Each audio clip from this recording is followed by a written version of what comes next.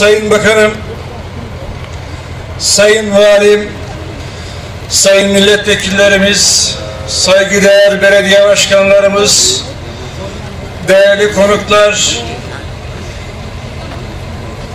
Karamanımızın çok değerli, güzel insanları, basınımızın seçkin temsilcileri, Karaman, Ayrancı, Ereğli bölünmüş yolu, Karaman, Ermenek il yolu ve Konya, Karaman hızlı demir yolu projelerimizin temel atma törenine katılarak bizleri onurlandıran siz değerli misafirlerimize teşekkür ediyor.